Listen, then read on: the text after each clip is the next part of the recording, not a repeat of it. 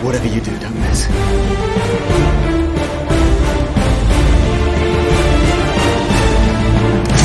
I keep the promises I make, Jack.